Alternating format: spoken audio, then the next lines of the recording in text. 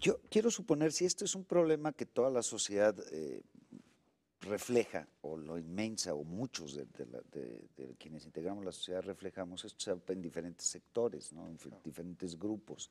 Eh, ¿Se da el mismo tipo de manifestación en la infancia, en la adolescencia, en la juventud, en la edad adulta y en, y en la tercera edad? Esa es una excelente pregunta. En el área de pediatría, sobre todo, ni siquiera existían estadísticas en los 60 o en los 70 en relación a obesidad. Era esporádico el caso de obesidad. La diabetes que aparecía, que aparecía en los niños era totalmente diferente, era una diabetes que necesitaba insulina y se presentaba como consecuencia de agresiones autoinmunes. Eso empieza a cambiar, de hecho ya cambió. Y lo que nosotros tenemos ahorita es una población de niños obesos con diabetes y con síndrome metabólico a partir de los 10 años de edad. Esto es un drama de salud pública. En la edad adulta, en 1970 la diabetes tipo 2 tenía una prevalencia del 2% en la población mexicana. En 1970. Eso fue lo que logró la historia de la humanidad hasta 1970.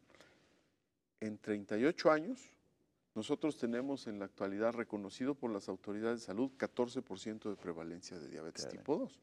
Y nosotros los que nos dedicamos a la diabetes pensamos que todavía la cifra está subestimada, porque hay, insisto, un eh, universo muy grande de personas que no tienen diagnóstico, pero que tienen la enfermedad. La hipertensión arterial era una entidad también rarísima en estratos de edad inferiores a los 20 años. En la actualidad se está identificando cada vez con mayor, frecuencia. Y en los mayores de 40 años la hipertensión arterial ahorita está presente en casi el 40% de los adultos mexicanos, porque ya se diagnostica mejor. Las alteraciones de las grasas, que antes tampoco se identificaban, en la actualidad y a partir de los esfuerzos epidemiológicos de las autoridades, se identifica, por ejemplo, que el colesterol elevado existe en un casi 13% de la población mexicana adulta y los triglicéridos elevados en casi la mitad de la población mexicana que tiene más de 50 años. Es decir, esto es un problema. utilizando el criterio de tasar cada una de las enfermedades integrales del síndrome, nosotros tenemos en las manos un tremendo problema de salud que va a crecer, porque no se adivina en este momento una estrategia poblacional como para poderlo limitar. Y los esfuerzos que se hacen se hacen en forma aislada.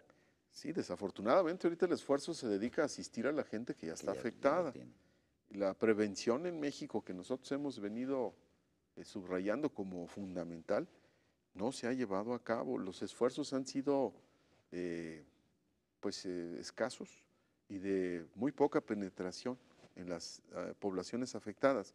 Por ejemplo, existe la manera de educar con una pirámide nutricional señalándole a la población que debe de comer, por ejemplo, muchos cereales, y luego en el siguiente estrato estaría la fruta, en el siguiente la carne, y así sucesivamente hasta llegar al dulce, donde se recomienda comer muy poco.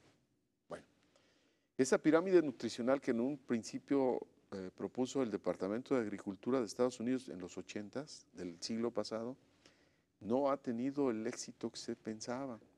La obesidad en Estados Unidos y en nuestro país está creciendo de manera progresiva y exponencial. No sirvió para nada la pirámide. Nosotros diseñamos una pirámide en la Universidad de Guadalajara con la esperanza de que tuviera algún éxito de penetración. Eh, epidemiológica no lo tuvo, no lo hay.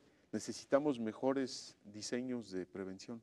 Eso es un hecho. Uno de los problemas, digo, quiero suponerlo, es que precisamente aunque tengamos el conocimiento, aunque sea empírico, de referencia, de cómo, de qué debemos comer y qué no debemos comer, la, la, demanda de los tiempos uh, acelerados en los que vivimos, el trabajo de, los, de ambos padres, eh, como que nos ha dado el pretexto de descuidar esto, ¿no? Y, caer mucho en el esquema de la, de la comida rápida, de, de, la comida no adecuada, de, las, de los hábitos no adecuados, so pretexto de lo demandante de las actividades laborales para poder subsistir, ¿no? Como que de alguna manera hemos mezclado, a lo mejor es una percepción equivocada, pero como que hemos mezclado todos estos esquemas para autojustificarnos, ¿no?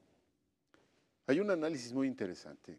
hay- hay- tengo un amigo médico que es muy bueno, él dirige el Departamento de Biología Molecular en el hospital, y él piensa que la comida mexicana tradicional es una buena manera de regresar a la costumbre sana de comer. No, no era malo, comíamos bien, equilibrado hasta cierto punto. Pero el otro día pusimos un análisis de intersecto entre esa capacidad de comer, ese estilo de comer, agregándole el automóvil, la televisión y las comodidades de la vida moderna, y ya no resulta. Es decir, la manera tradicional de comer del mexicano, sembrada en este momento de la, de la historia de la humanidad, ya no resultaría en un peso sano, resultaría en obesidad. De tal manera que necesitamos pensar en una nueva manera de comer del mexicano. Ya no es regresar a la costumbre previa. Necesitamos hacer una nueva cocina mexicana. Hay gente que lo está intentando, donde ya no existan los carbohidratos simples. El azúcar, el azúcar nos está haciendo daño como población. Tenemos exceso de peso en tres cuartas partes de la población adulta mexicana y esto va creciendo. El azúcar es una circunstancia que ni siquiera la naturaleza puso en América, no es la caña de azúcar de América.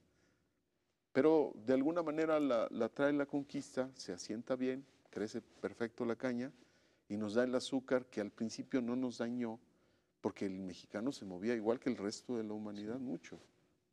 En la actualidad, cuando ya no nos movemos, cuando tenemos una disposición enorme de alimentos de- densos, una de las ideas que no me parece mala es empezar a eliminar de la dieta eh, diaria del mexicano los carbohidratos simples, azúcar, miel y piloncillo, que ya se utiliza menos, pero que también se sigue utilizando.